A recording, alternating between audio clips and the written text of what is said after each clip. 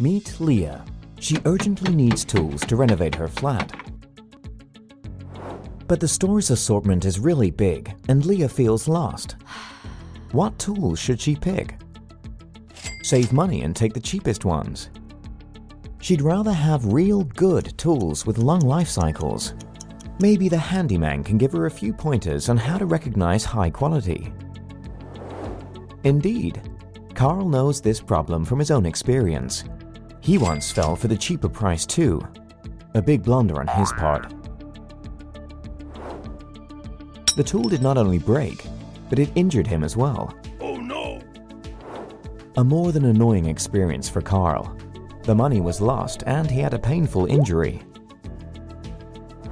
Mad about the low-quality tool, Carl began searching for a solution and found the official symbol of the Association of German Tool Manufacturers. This official FWI symbol marks the origin of a tool, indicating where it's from, made in Germany.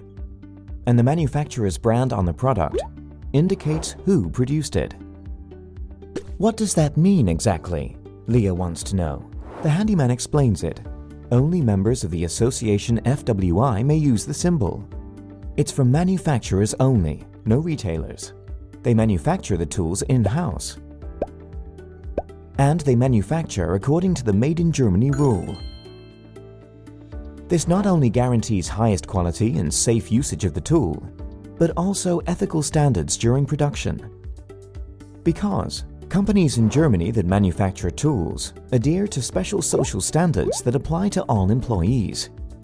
Occupational safety is also of great importance. When Leah and Carl buy a tool bearing the FWI symbol, they safeguard jobs in Germany and promote fair manufacturing of tools. The FWI symbol is an obligation. The companies oblige themselves to the highest degree of both craftsmanship and innovation. Their brands and the FWI symbol vouch together for quality made in Germany so it is clear for both. In the future, they will only choose products bearing the FWI symbol. Because, when holding a tool with the FWI symbol, you can be sure of both high safety and high quality of the tool you can completely rely on. You don't only save money in the long run, but have fun working with the tool too.